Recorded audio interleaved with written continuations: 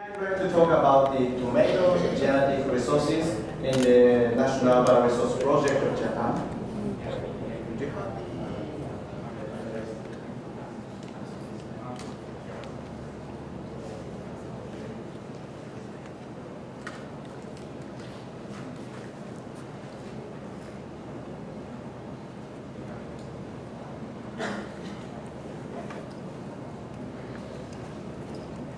So yesterday the professor Owata already talked about the NBRP project in Japan. So maybe I will just uh, briefly explain the project. Yes. So in the NBRP project in Japan, uh, there are 30 uh, bioresources, uh, including the animals and plants and microorganisms, and also the, the genetic resource uh, information, as you explained.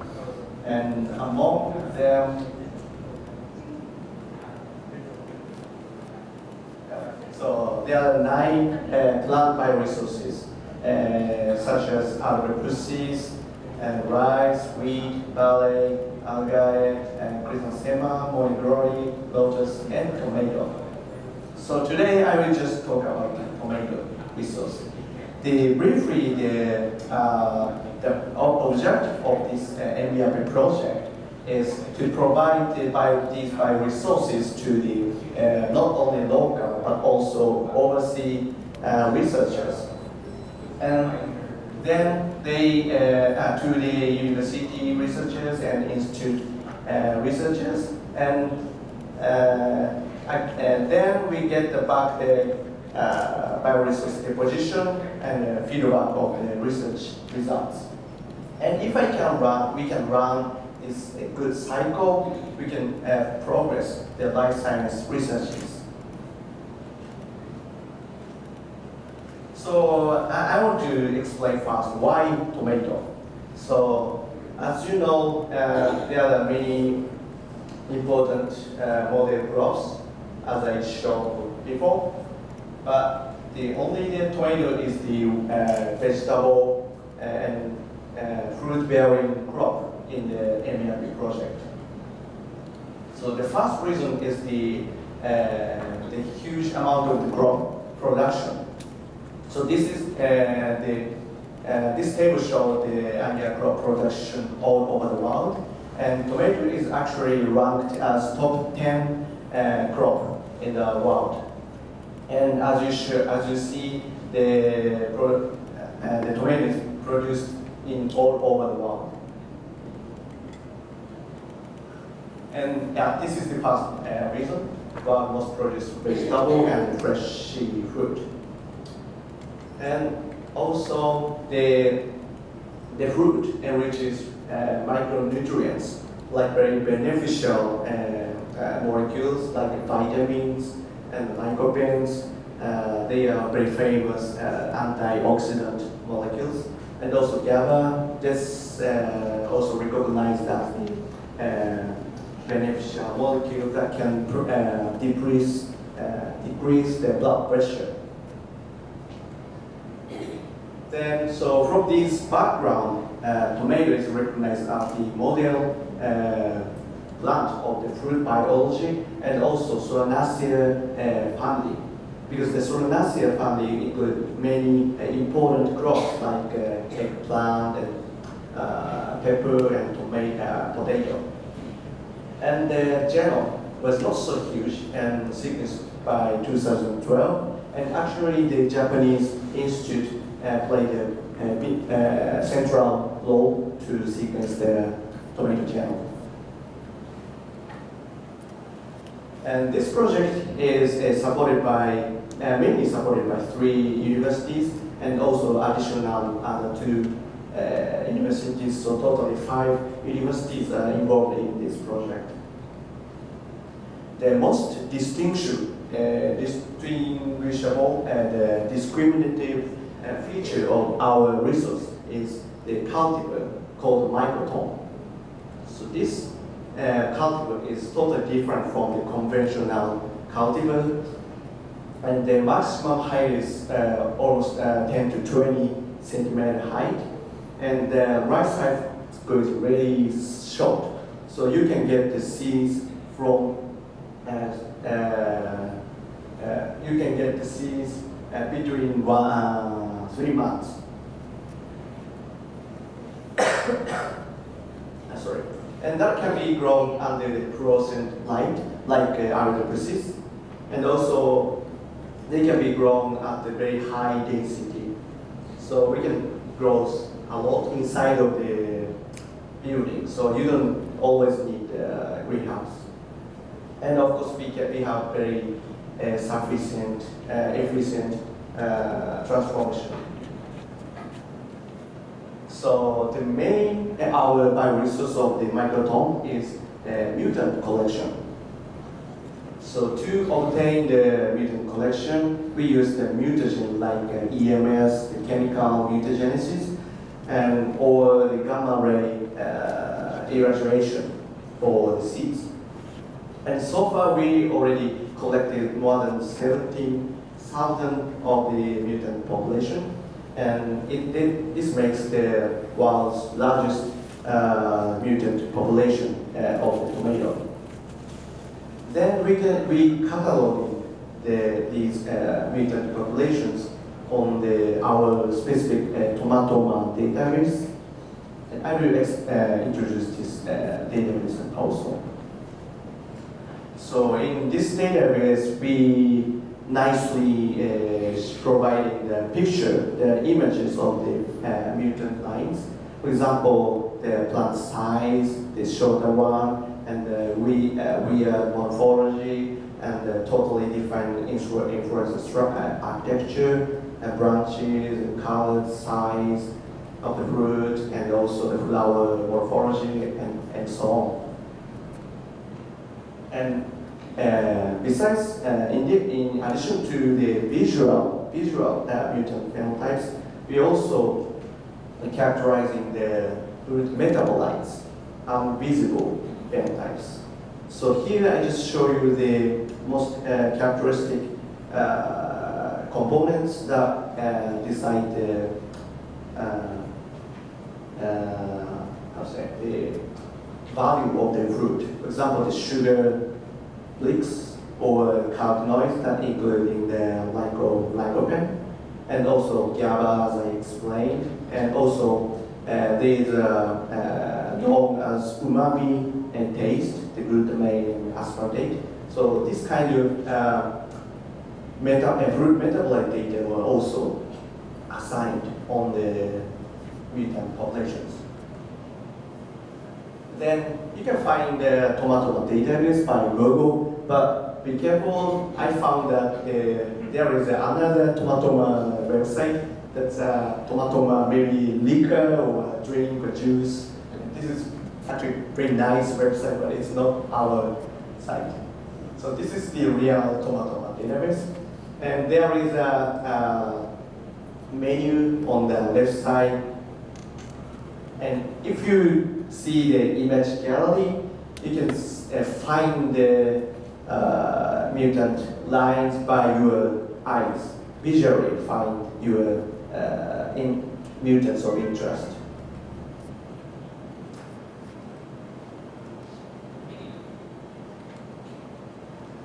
And if you have more specific uh, interest, for example, if you find uh, uh, yellow fruit or orange or early ripening fruit, you can just uh, click these phenotype uh, tabs. And more easier way, you can just use this uh, small box and just like uh, Google, you can find any uh, phenotypes by uh, while searching. And after you find the mutant seeds you want to order, just add to add the seeds to the uh, cart, and you can get them by like uh, you know Amazon or something. Of course, you need an MTA contraction, but it's pretty easy. And also, we are providing the metabolic information. And here I just show you the example of the Brix. So this is the median, the average uh, fruit uh, uh, sugar content, something like that. And if you uh, are very interested in the high sugar accumulated uh, mutant, you can just click the bar here and see which you know uh, specific uh, line uh, produce this kind of very uh, sweet uh, fruit. And you can also order these lines.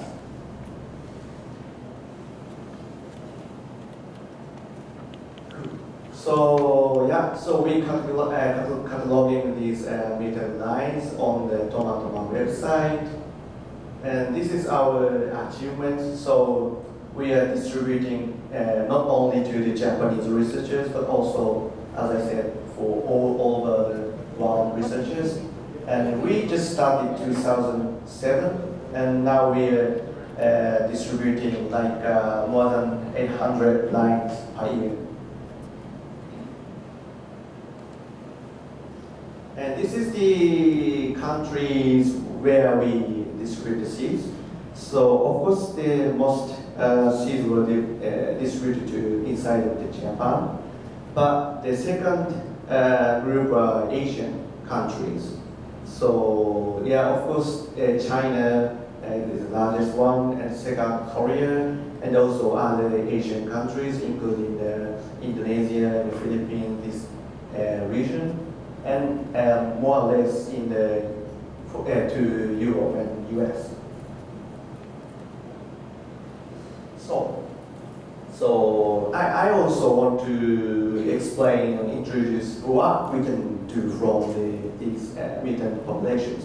So this is the major uh, approach or strategies uh, the users uh, do is uh, phenotypes to gene because we can provide many very interesting uh, mutant populations, but we don't know which gene is responsible for that phenotype. So when the users uh, get the seeds, they will try to you know uh, reveal which gene is responsible for that uh, phenotype.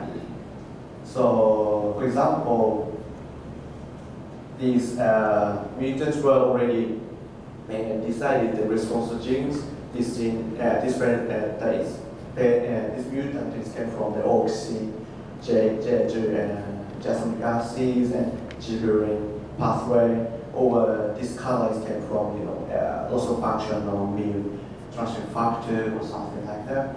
And today I will just uh, introduce two um, in, uh, examples. So this is the one with the best paper we uh, the, uh, the users published. So this uh, is published in 2017 from uh, Cell. So this was really uh, interesting because uh, so now we have uh, plenty of cultivars, right? There's thousands of tomato cultivars, but but 100% of the cultivar has this kind of very similar uh, structure, right? But in this group, uh, they found that they can, you know, uh, make more variation of the truss, the inflorescence structures. So they tried, okay, maybe this kind of variation can lead to the um, improvement of the fruit production. So in that uh, study, they ordered our uh, mutant population and uh, JP5091 or something. And in that uh, website, the uh, mutant was uh, assigned as like a inflorescence structure mutant and produce many flowers or very long internode or something information. So they ordered this and actually after that they decided which gene is responsible for this uh, phenotype and published the paper. And next I just use different uh, example to show how we can you know, uh, identify the responsible gene from the mutant population. So actually this is the paper from our group, so uh, it's pretty easy to explain. So in this case, the mutant showed the split petal and male sterility. So the first thing they did was just backcross with the uh, Micro-Tom type and obtain F2 population. And I forgot to uh, describe here, but they saw uh, maybe around 200 of the F2Cs, then see the segregation ratio, and maybe that was the uh, single recessive phenotype. So then they just uh, collected the mutant-like plants and collected the, the genome DNA each from each of them and just mix and uh, sequence by Illumina platform. So this is the actually well-established method and uh, you can just see the paper from Nature Biotechnology. So if the locus or the SNP not totally unrelated to the, this uh, mutant phenotype, you can get like a mixture of the SNP. But if the SNP is uh, totally linked to the phenotype, you can get 100% different SNP from the reference sequence. Something like that. Maybe you, you can just understand when you uh, read this paper. And this is the, another uh, good information because in this case, we need only maybe less than 1,000 US dollar. It's pretty uh, uh, cheap and maybe the price is getting cheaper and cheaper now. And this technique is called mapping by sequencing. And in this case, we just identified the gene less than one year. Uh, much, much uh, efficient than old-fashioned uh, groups, for example, uh, positional cloning, right? And I don't have time, but I just briefly explain the other uh, resources. So the, the previous one was phenotypes to genes, right? But we also provide the gene to phenotype the resources, like tagging lines, but uh, we just started, so the number is uh, still low. But the good uh, feature of our database is we visually show where the tag is inserted. For example, in this case, the tag is inserted in this gene, so this gene is maybe disrupted. And also, uh, we studied the enhancer tags, so maybe both these genes were enhanced. And also, so this is the uh, GM plant, so it's really tricky to you know, deal with the, or distribute to the researchers. But uh, we also can provide good uh, platform for tilling technique. So this tilling technique is uh, to isolate the very specific uh, gene mutants from the uh, our population. So let's see. The, so we already have the 17,000 mutant population lines, right? And from these populations, we just uh, see visual phenotypes like uh, 2,000 or 3,000. And others, are, we, we are not sure what, what kind of mutations are there. But we can still, uh, using the specific primers and doing the PCR and you know, uh, find the heteroduplex, you can find the specific uh, mutant of the uh, gene of interest.